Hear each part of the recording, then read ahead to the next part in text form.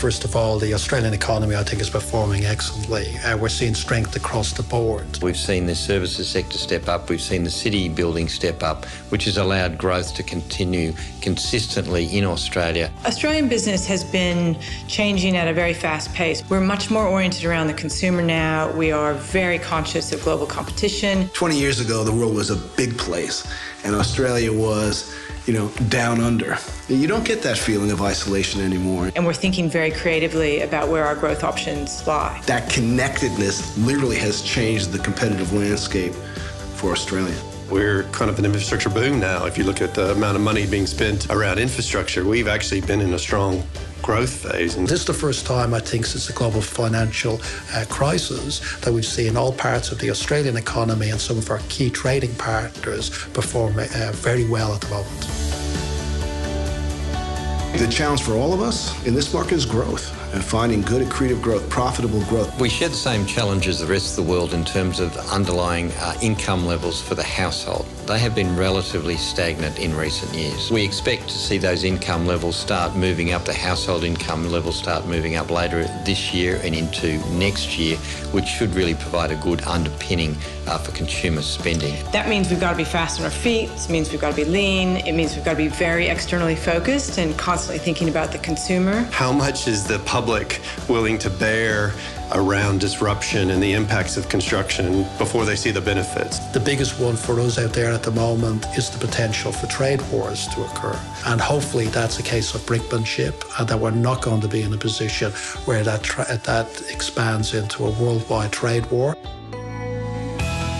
The very exciting thing for the future is playing a much more integrated role with Asia. The growing middle class across Asia, China in particular, means that there are really unusual opportunities opening up. To continue to grow our business, we have to look at the opportunities of going offshore. The Asia Pacific aviation market only overtook the United States, the North American market in 2011, but by 2034, it's estimated to be bigger than North America and Europe put together. It is huge growth and a huge opportunity, and I think Australian companies are well positioned to take advantage of that. It's not only outward looking from an export viewpoint, but it's also outward looking in terms of uh, receiving capital, a large inflow of capital historically from offshore, and the management skill and expertise and technology that's come with that. We, from an agricultural sector, are looking forward at a growing demand for high quality proteins, high quality uh, fruit and produce. There's a push for quality and a push for food security that plays right into Australia's hand.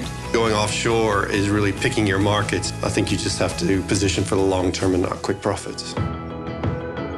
I think Australian companies are very good at taking up technology, of getting the best of breed. They have always looked across borders to find talent and capital. Well, every Australian business, every client of ours, every one of our businesses, frankly, is being impacted by technology at the moment. Everybody should be worried about how they can be disrupted and how they disrupt. We've always had the view uh, that we'd rather disrupt ourselves than let somebody else do it. Over 40% of our employees are in technology and preparing for what's coming. We see connected and autonomous vehicles. We see electric vehicles, which is going to make eventually driving cheaper and more environmentally friendly. When you think about your home and all the ways you use electricity, that's going to change. Your ability to schedule it, uh, trade it, store it. Most parts of the economy have really thought hard about how to be future fit. And that's given us the ability to reimagine our own businesses. We have to continue to prove how we're adding value to the community and how we're providing good policy long term. And to ensure that while we're delivering extraordinary returns to shareholders, we're also looking to make a big difference in the communities that we operate in. Individuals in society broadly have a larger voice. You can't ignore it. We have to respond to the expectations of the of the community and actually justify why we're doing the services we're providing, um, the quality of what we're doing, and we have to be accountable. And there's a lot of, of shareholders that will only invest in companies that have good environmental, uh, social, and governance uh, controls. And in today's world, having corporates that behave well is a real value. And I think that's an inherent value to Australian businesses.